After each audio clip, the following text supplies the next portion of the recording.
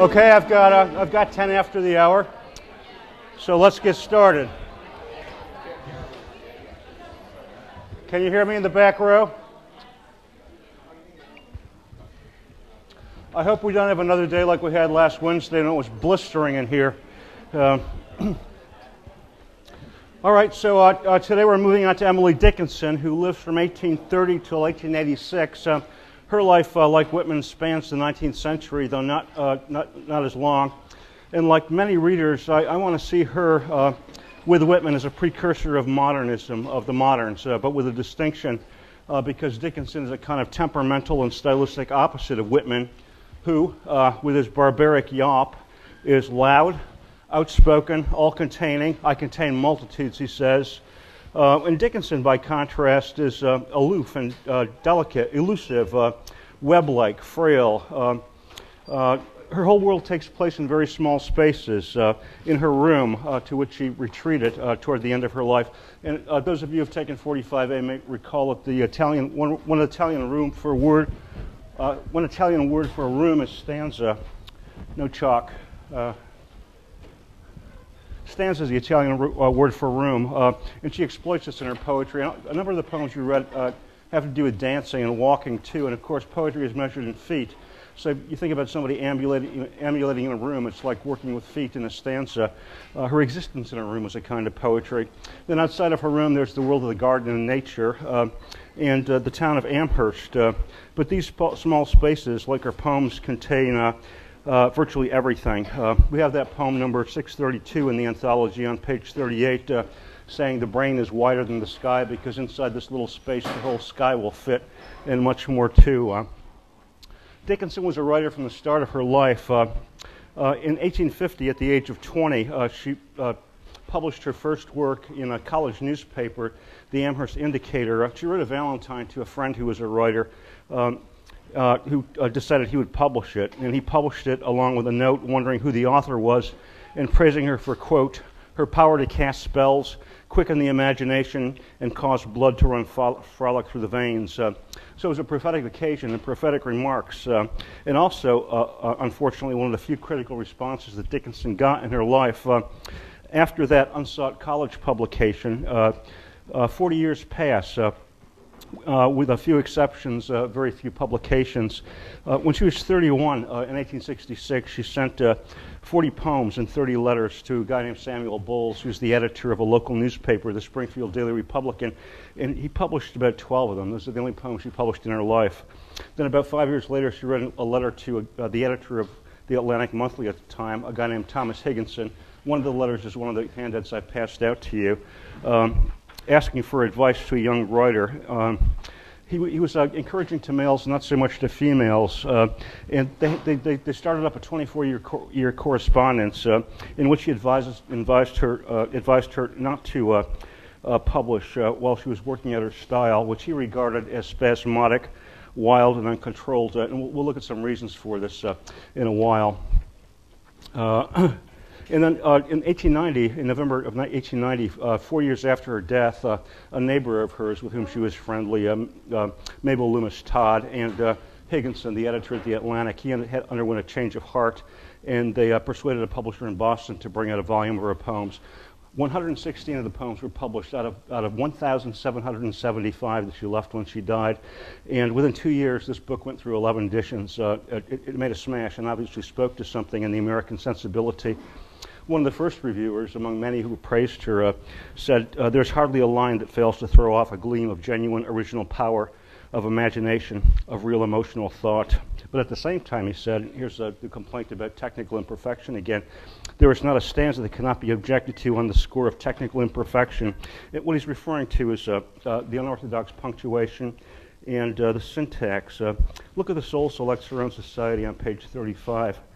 Um, and uh, uh the, the, the, way that words are separated by dashes uh, cause some perturbation. Uh, but uh, this unorthodox kind of writing, which gonna, I'm going to dissect uh, before the hour is over, is analogous to the kind of, it's half barbaric. It's a new species of, of art. and I'll recall, recall that Emerson said of, of Whitman, it's not meter, but meter making argument that makes a poem. A thought so passionate and alive that, like the spirit of a plant, or an animal, it has an architecture of its own and adorns nature with a new thing.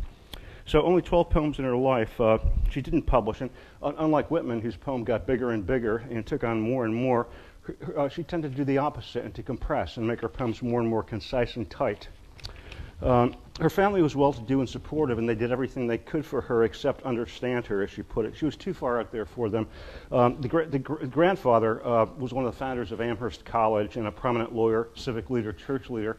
And the father, too, uh, was a treasurer for Amherst College and um, a, a, loyal churchman and a lawyer. Uh, all of them were into business and civic, uh, civicism. Um, the, so the family was supportive but disconnected. Um, the letter I passed out uh, gives you her life in a nutshell. In the last paragraph, she says, I have a brother and sister. My mother does not care for thought, and father, too busy with his briefs to notice what we do. He buys me many books, but begs me not to read them because he fears they joggle the mind. They are religious, accept me, and address an eclipse every morning, whom they call our Father.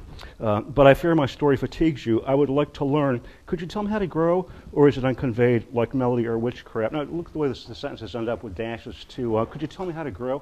What's she saying here? Uh, the, uh, the syntax gets a little unorganized and uh, uh, gives us a clue to what, what some people objected to in the poetry. Um, but the, the, the, letter is telling, and that the it tells us the mother doesn't like thinking, and the father distrusts literature, too busy with his briefs. Um, her main family allies were her brother Austin, who was three years older, uh, an avid reader, an intellectual companion and competitor, uh, who eventually went off to Boston and got married. Uh, and she had a devoted sister, Lavinia, Vinny, uh, of whom she said it's like we came from two different worlds. Uh, they couldn't talk about anything because Vinny was into like domestic work, pie baking, and, and housekeeping and stuff. Uh, the family also had a daily prayer devotion in the morning. when when Dickinson died, somebody discovered there were 19 Bibles in the house um, which uh, Dickinson made fun of these prayer ceremonies. She, she calls God the Father the, a big eclipse in this letter.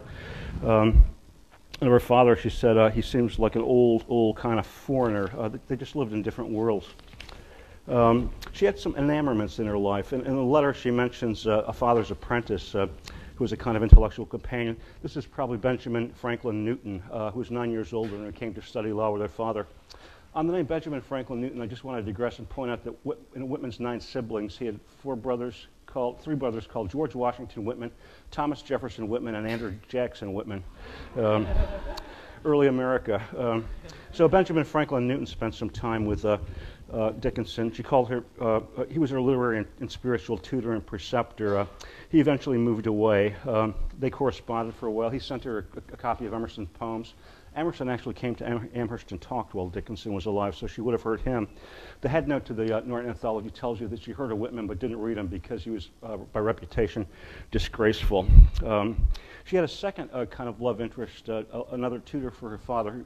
Uh, the, the, guy eventually came out here to San Francisco, and she lost track of him. Uh, but if you think that she was a prude, read poem number 30, number 249 on page 33. Maybe I'll get to it. Wild Nights.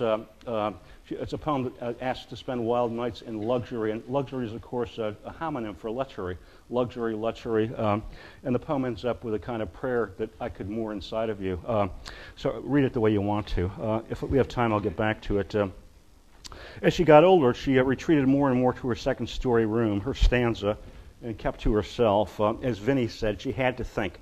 She was the only one of us who had to do that.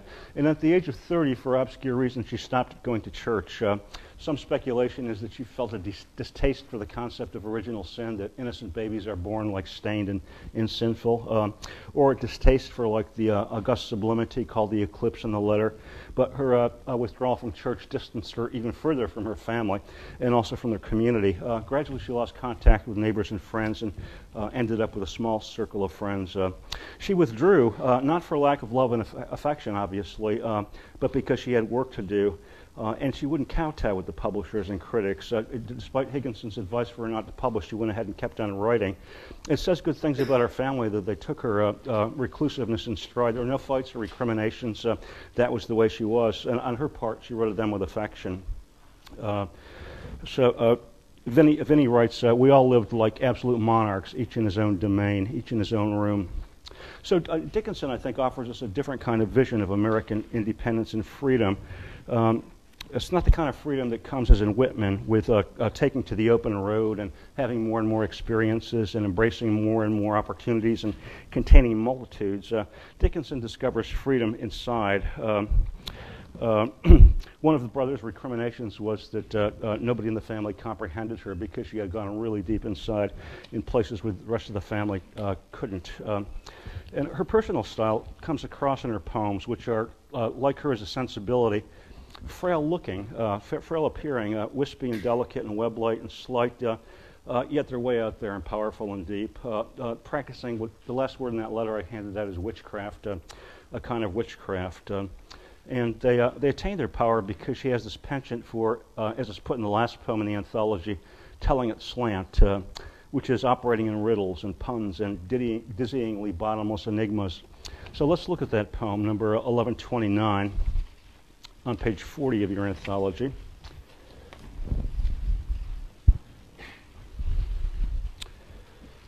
Tell all the truth, but tell it slant. Success in circuit lies, too bright for our infirm delight.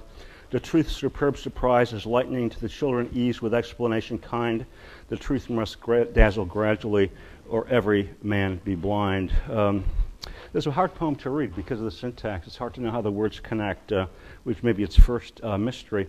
The poem works in the way that its key terms indicate, uh, that is by indirection uh, or slantedness, uh, by circling around a topic or, concern, that's moving in circuits, uh, in circles. Um, rather than just stating some things straightforwardly. It pulls you in by way of the statement made in the first two lines, and then it stumps you. Um, and uh, it does so because Dickens, Dickinson evolved or invented her own system of punctuation, uh, uh, a weird system of punctuation that's full of dashes of different lengths and commas and spacing.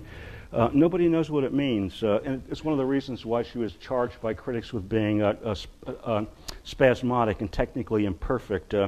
Um, recently, uh, readers have argued that what she's doing is inventing a kind of language that resists patriarchy and that's uh, uh, feministic. Uh, uh, uh, uh let me say to begin with that what you're reading uh, in the anthology is, first of all, somebody's interpretation of Dickinson. Uh, she's been reduced and made less interesting than she might be.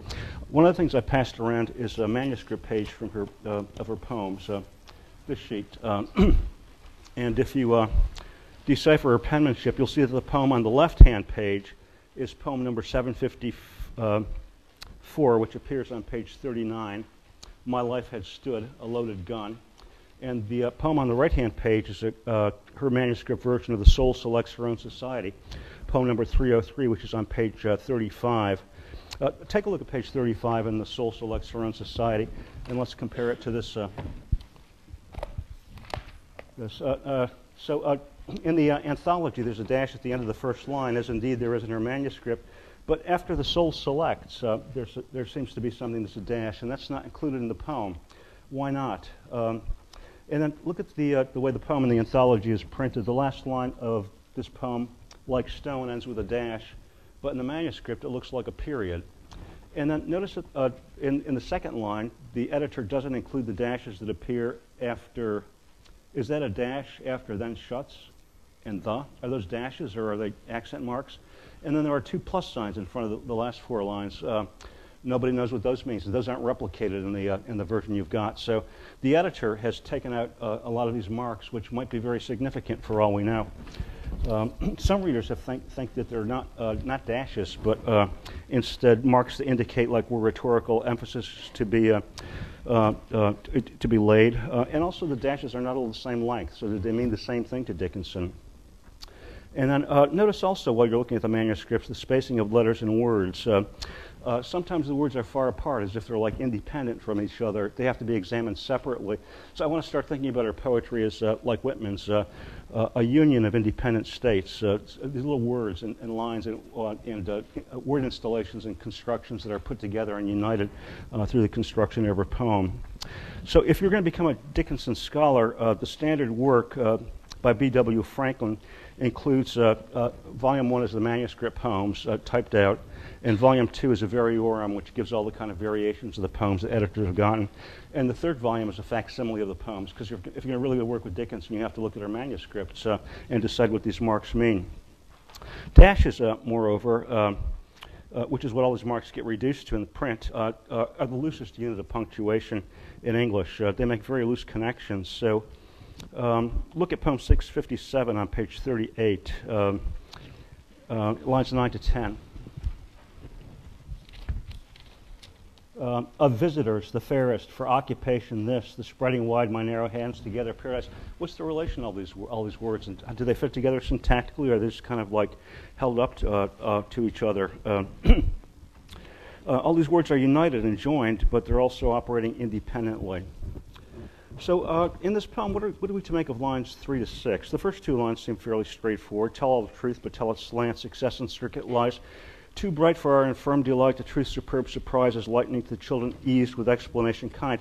It doesn't help that there are no commas or, or periods to uh, separate the words. Uh, uh, what's too bright for our infirm delight in line three? Um, when you first read the poem and come out of line two, success lies, uh, too bright for our infirm delight, it seems like it's the object of the verb lies. Um, which of course makes a, a, a, contrast, the word lies makes a contrast with the word truth. Uh, and when we get to the fourth line, uh, uh the truth superb surprise, we realize retrospectively that what's too bright for our infirm delight is the truth surprise. Uh, but uh, notice that we have to circle back to get the meaning. So the poem is kind of like illustrating what it means. Uh, it's it's only after we make a mistake do we realize that we're not too bright and we've missed the truth? Uh, we have to return to it. Uh, note to the play on words, uh, bright and delight. Um, people who think they know it all uh, are really blind. Uh, they are delighted. Uh, delight can mean the, the, taking away of light. it means, of course, enrapture or make happy, but it's the denial of light, to take light away. And now, as we go through the poem, we'll notice a, a string of words that are related conceptually. Um, bright, delight, lightning, dazzle, blind, all of which suggests a progression and perhaps the experience of a, a lightning bolt uh, so, so bright and uh, powerful that it, it renders you blind. And of course, there's a, a, a narrative history of this, this kind of uh, phenomenon, too. Uh, I think uh, notably of St. Paul, um, then Saul on the road to Damascus, uh, anti Christian who's blinded by God and is suddenly enlightened to the truth. Um, so the metaphor starts to invoke paradoxes that are um, uh, a, a, common in the mystic tradition, uh, in, in, which conversion is a process in which you're blinded in order to be able to see. In order to get insight, you have to be blinded. Um, and the idea is that meaning emerges gradually through indirect circuitry, uh, growing deeper as we uh, um, uh, gain access to this poem and as nuances and weights reveal themselves. If you can see the mean, meaning immediately, uh, what you see is, is trivial. Uh, to tell things straight out is trivial. Um, uh, you're blind to it uh, if you think you can see it right away. Um, I'm thinking now of the Saddleback, uh, uh, the Saddleback forum and the question like, when does life begin? Is there an easy answer to that question? so the poem works, I, I, suppose, like the experience of Saul on the road to Damascus, where it gives us a, a, a verbal texture, this riddling, this telling it slant and figures uh, and enigmas. It's an aspect of Dickinson's style. Um, and it's one that draws on the Bible, too. Um, we go back to, to, Whitman now, who draws on the Bible because it's an epic of creation. Uh, Dickinson's work draws on, on 19th century Protestantism, hymns, uh, and secular versions of the Bible. Um, But uh, Dickinson, Dickinson's poems work quite differently by asking you to uh, guess what I mean. Uh, and that makes you, as a reader, an active force in the poem. You have to participate in and kind of outpsych her uh, to get to where she's going. So uh, she's also not making statements and yelling at you like Whitman or clobbering you over the head. Uh, these poems instead become like little const- in- installations of words, each of which is separate and dis- discrete, but all of which are unified each of which asks you to stop and look and weigh and then go on as you circle around and around and put these uh, uh, resonances together. So let's look at another poem that uh, works by circuitry and by telling it slant uh, with another complex set of issues, but not before uh, noticing that the odd word slant um, reappears in poem 258 on page 34. There's a certain slant of light. And this is only to begin to notice that single words in Dickinson, slant, heft um, reappear and make of these independent poems a kind of unit too. Uh, before moving on uh, away from this poem, to, uh, note the wordplay that she gets by uh, in the opening lines, tell all the truth, but tell it slant, uh, success and circuit lies. Uh, she's evoking the idea of like there being a, a legal, tell the truth, the whole truth, and nothing but the truth, so help you God. It's not always easy to do. And then she ends the first line with the word slant, uh, uh, and everybody knows that you can slant the truth.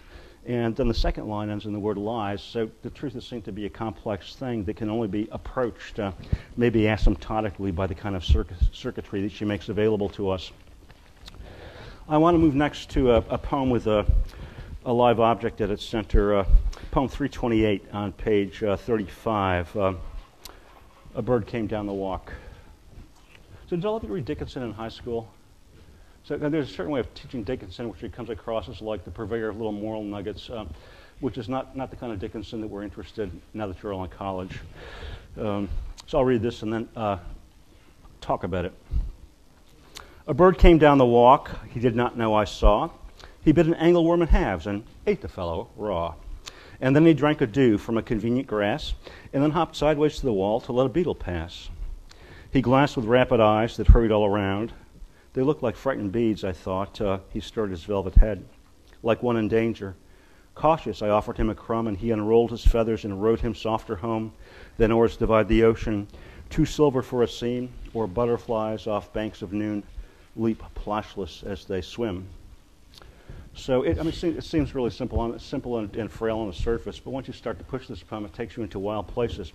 The opening lines uh, immediately introduce uh, what seems to me the enigmas and puzzles at the heart of the poem by raising the question do birds or other animals know that you're supposed to walk on sidewalks, um, uh, that you're supposed to wait for traffic lights, um, that you're supposed to obey the rules and follow straight and narrow? Uh, narrow. What, what does it mean that a bird comes down the walk? Um, so, this is the central tension of the poem um, a tension between the categories and ideas that are available to the speaker. Those are terms which define human life. Um, and the categories that are relative to the bird, which has no consciousness. Uh, uh, it does not know, as the second line tells us. A bird came down the walk, he did not know. I saw. That can mean two things. I saw, I, I, I, observed that he did not know. He, he, couldn't see it. He didn't know he was supposed to walk on the sidewalk. He knew nothing. Uh, but at the same time, it's saying he didn't know that I was looking. Uh, he did not know I saw because his eyes are all over the place. Uh, they look like frightened beads. Uh, hurrying all around. Uh, is the bird even ob- observant? Uh, so the bird has no consciousness. Uh, uh and then the tone starts to get uh, jarring and shocking. Uh, he bit an angleworm in halves and ate the fellow raw. Um, and that partly humanizes the bird by connecting him to like human practice. Um, angleworm, the, the, word angle starts to sound like England or English. and ate the fellow. Uh, uh, we're dealing with human beings here until you get to that word raw, and then we start to realize this is uh, something like cannibalism. So the speaker has a hard time recognizing this, this bird outside of human categories.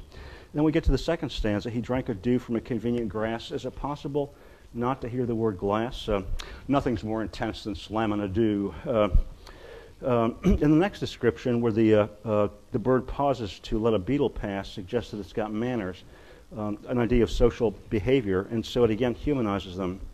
So, uh, at the end of these considerations, part of what we're being asked in this poem is whether or not you ever see anything raw, uh, if you ever see nature uh, without human lines, uh, paths, and, and sidewalks, uh, uh, or rules there. Um, there's a, a, contemporary philosopher named Baudrillard, no chalk, B A U D R I L L A R D, who invents this term hyperreality to infer the, uh, refer to the world we live in. His argument is that everything is mediated for us. Everything that we know in the world comes to us through print or, uh, or film. Uh, has anybody been to Afghanistan?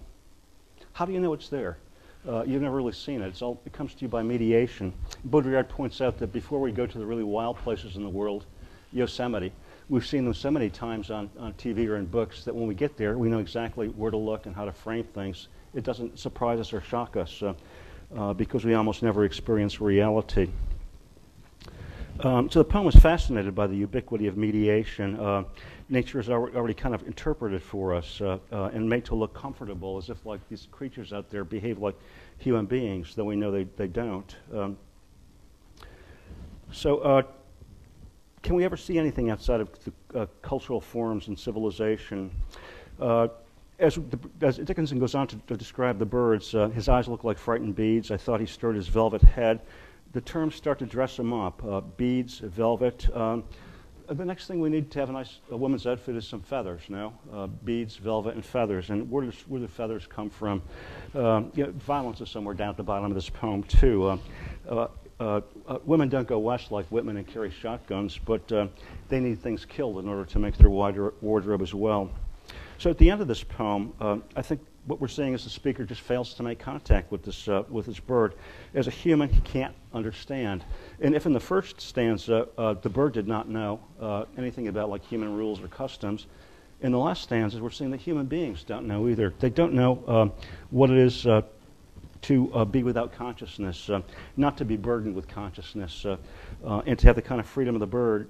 And the, the last image, I think, of the bird uh, uh, rowing him home, the word road now, the word path in the beginning turns into road here, and it reminds us of different ways of proceeding on land, along paths, and in water where there are no paths. Human, humans follow paths and li follow lines. Birds are pathless. Uh, the images of like jumping into water, which is maybe as close as we can know what it's like to fly and not to have to follow a path. Um, but the implication is that human beings can't know what it is to be a, uh, a bird. Li we live in two different worlds. Um, um, so um, if the if the speaker fails to like understand the bird, the poem doesn't fail because what it captures for me in part is the, uh, the fathomless unknowability of, uh, of this bird, this creature, um, which becomes a cipher for nature, uh, an item of impenetrable um, enigmaticness. And there's lots of this in, in Dickinson, a sign of like the real mystery uh, and depthlessness of the world in which we're planted, maybe a sign of a human fall, fallenness uh, in, a, in a hermodified and secularized uh, Christian world. So to, to suggest how is, issues escalate, uh, I want to take another animal poem uh, that Dickinson writes. Uh, this would be poem 986 uh, on page 40 in your anthology. Uh, page 40. this is one of the 12 poems that was published in Dickinson's life. Uh, and I think it may have been published with the title of Snake at one point, because that's what it's about, as becomes clear. Um, and let's stop to note that many of Dickinson's poems are about animals, perhaps because she's female. And uh, the connection would be that animals live outside the, of the world regulated by human activity, um, which is to say, the world regulated by males. Uh, so that a, a, a kind of a, sympathy or identification with other creatures that are domesticated may enter into the writing about animals. Um, there's a poet who should have been on our syllabus too, Marianne Moore. She's on page 430 in Anthology, who writes a lot of poems about animals for, I think, the same reason. They're outside the system of male control. So let me read this and uh, then comment on it. a narrow fellow in the grass occasionally rides. You may have met him. Did you not? His notice sudden is. The grass divides with a comb. A spotted shaft is seen, and then it closes at your feet and opens further on. He likes a boggy acre, a floor too cool for corn.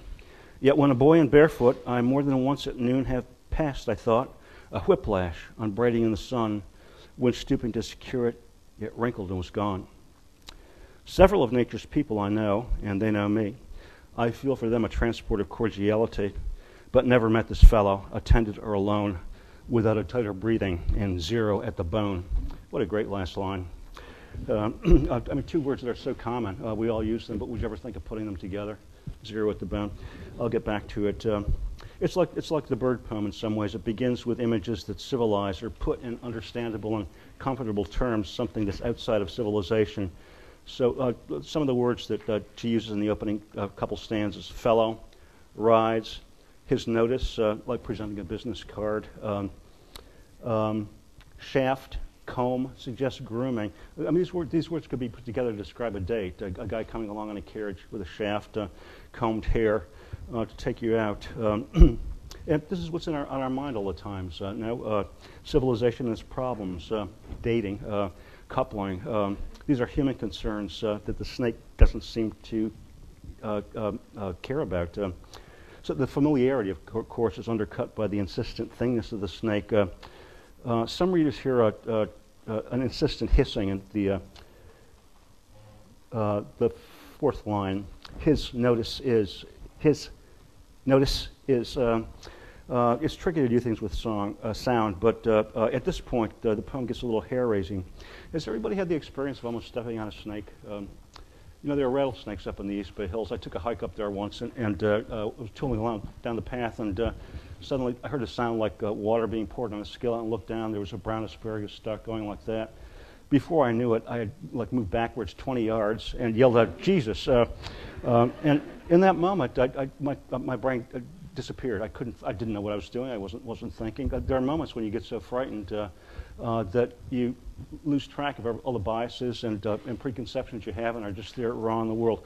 This is a moment that's a kind of experience that's called the sublime in literature. Uh, uh, English literature. It's the experience in which you, you encounter something so unexpected, so unpredictable, that it can't be uh, categorized or boxed in. It's the opposite of the kind of mediation that Dickens is, Dickinson is looking at. Uh, uh, so uh, uh, the poem also uh, plays with some of the kind of spooky superstitions and fears that people have about snakes. Uh, the, uh, the lines, the grass divides with a comb, a spotted shaft is seen, and then it closes at your feet and opens further on. you can imagine the, the, the, the, experience of a snake crawling through grass so you can see its track and then losing track of it how many horror movies do they have like snakes crawling between girls' legs uh, in places where snakes shouldn't go? Um, but it's, it's, it, it, the grass is closing at the person's feet here, so where did the snake go? Um, and uh, uh, at this point, the poem, uh, the poem uh, starts to explore the sublime because it moves away from boundaries, defined lines, and locales into a swamp. Uh, he likes a boggy acre, a floor too cool for corn. I think corn must mean wheat. the boggy acre is a swamp. Uh, no fences, nothing grows there. It's in- indefinite. Uh, uh, and at the same time, the poem leaves the present and the actual and goes back in time to childhood, uh, to a time before civilization, uh, to evoking a time, I think, of primitive fears and primitive attitudes. And also, this, this personage now is barefoot, which increases the vulnerability and, and menace. All, all, all, the more worse if you step on a snake. and they had rattlesnakes in, in New England when Dickinson was alive if you step on one with bare feet. Um, uh, I think the poem gets primordial in that it, it, it, goes backwards in history and in social history to uh, ev uh, evoke a whole history of snakes being vilified. Think about the book of, e the, the, the, book of Genesis and the Garden of Eden.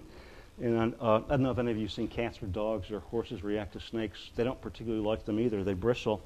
Uh, there's something about the snake. The, uh, the, converting the speaker into a boy, too, uh, there's no reason why we can't assume it's a boy in the first couple stanzas, but it becomes explicitly a a boy in the third stanza. It evokes a time uh, when, when, uh, when girls are, uh, are more like boys than boys. Uh, anybody who's taken a class that's dealt with sexuality or Freud knows that for Freud, there's a period of, of childhood, the first three years or so, the pre-Oedipal period before uh, uh, boys know that they're boys or girls know that they're, they're girls, uh, before sexual identity uh, is fixed, um, when everybody is kind of equally gendered. Dickinson may be going back to this part of her history. Um, but it also tells us, we, are also reminded too that the snake is a phallic menace both to boys and girls both. Um, uh, we both have to uh, uh, succumb to patriarchy and growing up. And the poem starts to move uh, away from being about animals now toward humans. Uh, however, let's look at the snake. Uh, the way it's described here is symmetrically patterned, like a braid uh, lying on the grass, uh, stretched out and coiled. But uh, this is a braid that's not like a necklace. It's described as a whip and a lash. And whips and lashes are both things that can suddenly strike out and hurt you um, and sting you as a result of a st- sudden stinging action. they're like the snakes. And while we're here, let's notice the comb. The comb has combs have teeth. Um, there's a lot of hidden menace underneath the language of this poem. Lines 17 and 18 tell us that several of nature's people I know and they know me, and that there's cordial relations. Uh, uh, and this puts us in the mind of how people are eager to domesticate nature and make it something that is not threatening. Think about pets. Uh, pets are animals that we kind of half humanize. Uh, we, we, call them call them names and talk to them. The snake is not one of these fellows. Uh, it's not in that world. The snake can in, induce zero at the bone. think about these words zero. Uh, what are the connotations of zero? Um, it means uh, nothing, uh, and therefore resonates with the word bone, uh, the material of the skeleton, to evoke death. You get bit by the right snake, you can die uh, and be reduced to zero at the bone. And of course, the, teeth, the snake's fangs and, and rattles are, are, made of bony parts too. So we're getting an account here of like uh, what might happen if the uh, if this uh, if this meeting actually resulted in a bite. And this, the sounds of the last line: zero at the bone, e, oh. Uh, the signs of like crying out in horror. I'm thinking of Milton's sonnet on the Waldensians here, which is full of like the sound oh, oh, uh, a lot of uh, wailing and moaning. Um, so I would say the poem is creepy. Um, it's a bit of thing that creeps. Um, it evokes the word creepy. Um, uh, you don't get this kind of like uh, shiver in Whitman um, um, as you do from her, uh, from this girl who's sitting alone in her room at night, um, uh, spinning out a dozen words that get under your nerves. Uh, it is a kind of witchcraft. Um, let's turn all these terms over again. metaphors work both ways. the snake is being compared to a narrow, narrow fellow in the grass, um, but the snake is an emblem of the unpredictable menace. you never know when you go outside happy and expectant. Uh, you might meet a fellow uh, uh, and end up dead.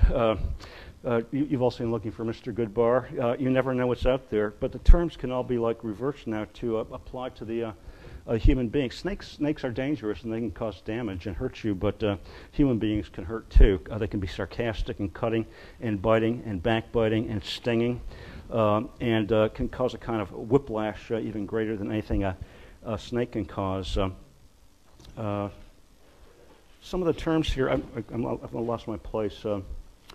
A narrow fellow in the grass. A narrow fellow is a kind of off rhyme. Uh, but we think about narrowness applied to people. Too. Some people are narrow minded. They don't, they don't understand women who write poetry, for instance. Uh, uh, some people are prudish and follow straight and narrow. And of course, we all know that there are people who are like snakes in the grass. You can't trust them. Um, so I'm going to stop. I'm going go on reading this poem. I'm like reading between the lines for the rest of uh, rest of the class uh, and the next class too. But I'm going to stop there because there's uh, other things to look at. I do want to point out that there, there's uh, there's a, a, greater and more acute sense of uh, animality in this poem than there is in Whitman. Uh, it's closer to like the animal. which the animate, the, the, the, things that are alive. the word animal comes from the Latin word anima, meaning soul. It's things that have life in them. Um, uh, souls and psyches. Uh, uh, animals in Dickinson are mysterious and beyond the realm of the human. Um, uh, and so the, the, poems become these, these kind of uh, uh, intense forays into the exploration of interiority and human depths. Whitman, compare, compare Dickinson to Whitman. Whitman is domesticator. Everything that he runs across goes into him and becomes him, something to celebrate. he seems to me oblivious to the idea that there's anything truly alien out there. Um, beings that he can't uh, become friends with or, or, become or can't engulf. Um, um, nothing that can't be domesticated. Uh, he minimizes the dark side of nature. Note hurricanes, earthquakes, floods, uh, uh fires, uh, snakes, bugs, scorpions, or tarantulas in Dickens, uh, or never a situation like one that resulted in the Donner Party where people ate each other. I wish I had a piece of chalk there's a, a, a, great work of literary criticism by a man named Erich Auerbach, A U E R B A C H. It's called Mimesis, uh, the representation of reality in Western literature. Oh, chalk. I'm addicted to chalk. Uh,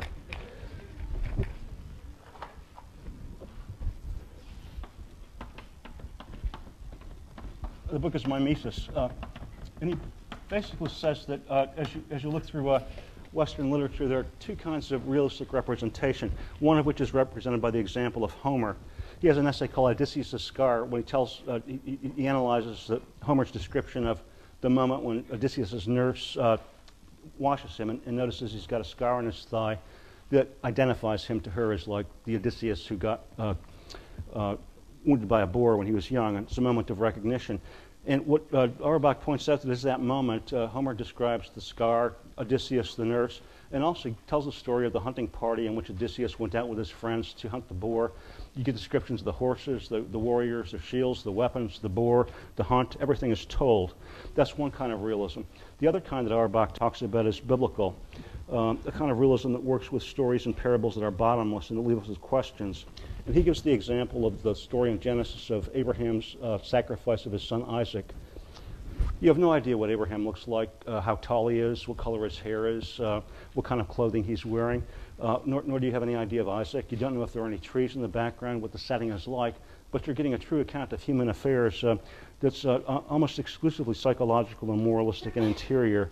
So I would place Dickens in the first, uh, the first of these kind of, I'm sorry, Whitman in the first of these two kind of categories of realism, and Dickinson in the second.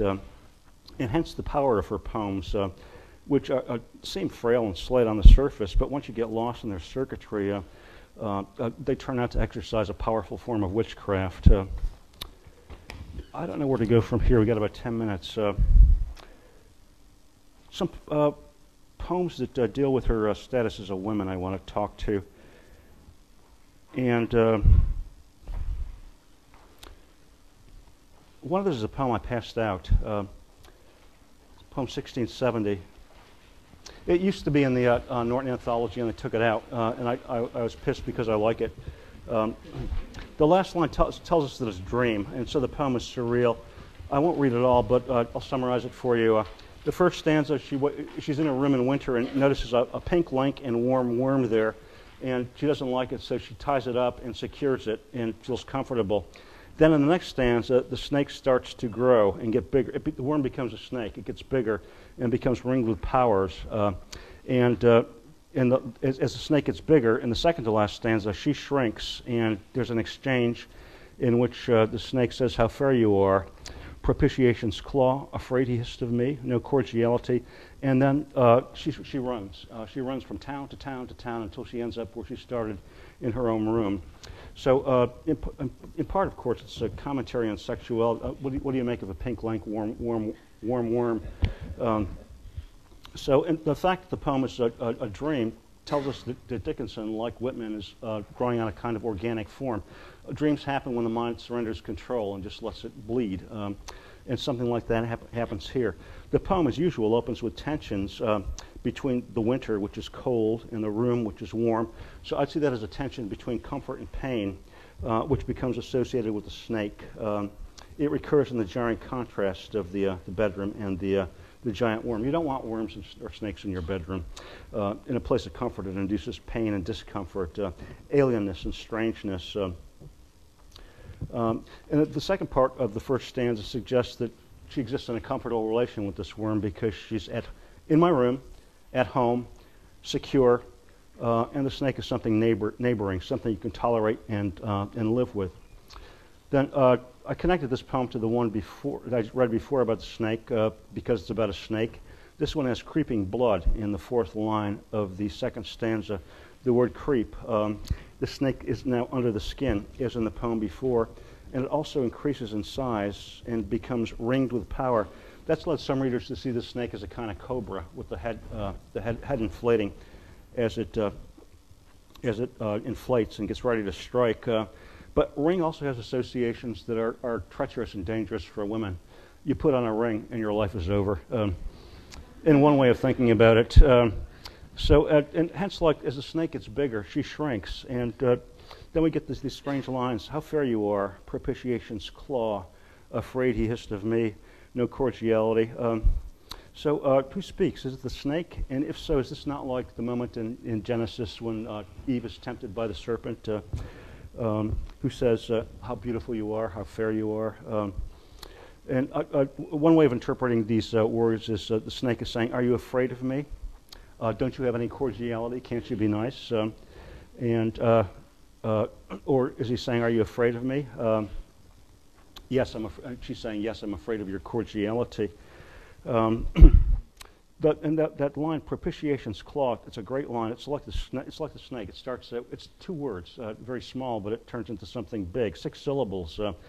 And what does it mean? To propitiate means to cause to be favorably inclined uh, or to win the goodwill of somebody or get, to get somebody to like you.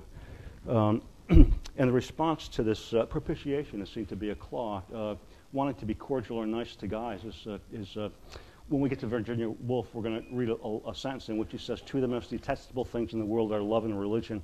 Love is detestable in uh, the view of one of the characters in the novel because what it does is it causes women to get enslaved, um, to propitiate themselves, to surrender uh, and to uh, give up their lives. So Dickinson's response to the uh, request to propitiate, uh, to, be, to propitiate, to be nice to guys, uh, to maybe take up with a guy, is to flee um, through all the towns. And where does she end up? In her bedroom, um, where she where she works. Um, Um, it may be that Dickinson is the discoverer and exponent of a truer form of freedom than Whitman. Uh, what? Being locked up in your bedroom? Uh, yes, uh, and for these reasons. You know, the room, the, the word room uh, comes is related to the German word room.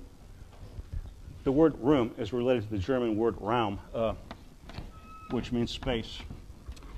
Your room is your space, uh, as in I need I need room, I need space.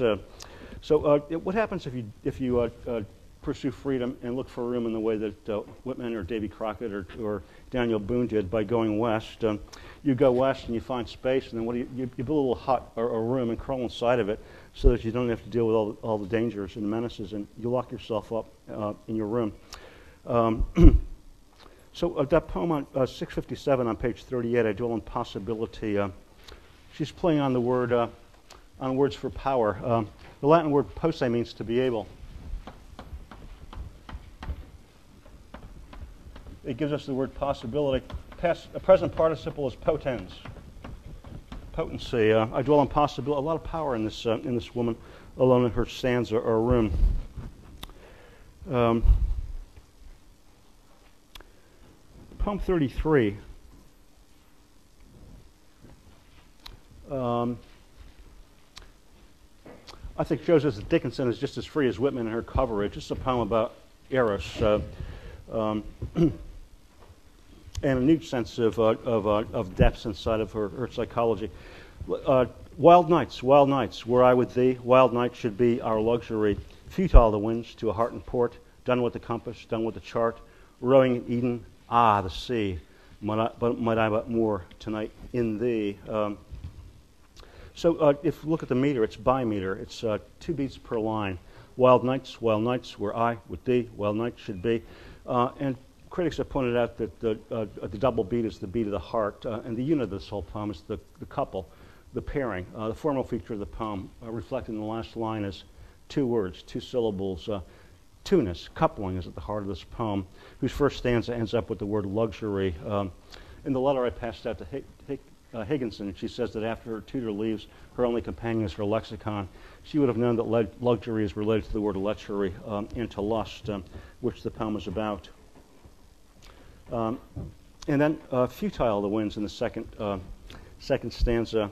What's futile? Um, uh, passion? Um, no, passion. Uh, what seems to be futile is passion to somebody who's uh, renounced travel uh, and companionship to somebody who's in a port. And notice the word heart stands out there, capitalized in this poem that deals with double beats. Um, uh, so the tools of getting out there into the world, uh, the compass and the chart, those are what allow people to go away from home to strange uh, strange ports. Um, these are done. They've been put away. Um, she's not traveling. She's left herself in her room um, uh, without and without rules. Uh, she travels without the chart and the compass. Um, and looks for Eden, which uh, those of you who study the Bible know that Eden is the Hebrew word for pleasure. Uh, and then finally, uh, at the end, in, in, looking for pleasure, I think the speaker masculine, masculine she masculinizes the speaker.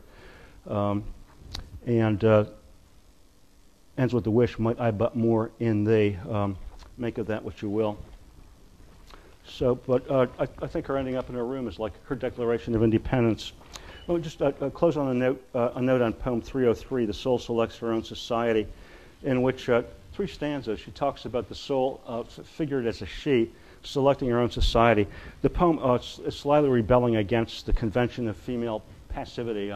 the females are just passive, that all they can do is feel things if you're passive, you experience passion because you're acted on instead of acting. Um, girls are chosen, uh, uh, as women were taught in the 19th century, but they do not choose. Um, but here, what she's saying is that the soul selects her own society. Um, in the first stanza, she shuts the door on the divine majority, on God. Majority can also mean like common sense or the, uh, uh, uh the agreement of the many. We, have seen that she shuts the door on society too, the society of Amherst.